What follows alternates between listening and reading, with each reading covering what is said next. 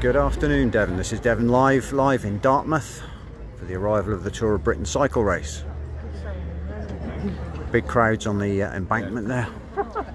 Beautiful tall ship I think we could have out in the river, and we're awaiting the arrival of the race. A lot of police outriders been through already. A couple of uh, team vehicles have been through already. Ineos Grenadiers went the wrong way, but don't tell them we said so. This is a 184 kilometre stage. Now, people around me are very keen on imperial measurements, so that's 111 mile stage, I believe. Uh, but when we're only 30 kilometres into it, which is 18 miles in old money, so it's a long, long way to go from here today. On the embankment in Dartmouth, the riders will come down the hill past the Naval College, if you know Dartmouth. A couple of escape roads down on the side of the road there, hopefully they won't need them. Sharp right turn by the higher ferry, along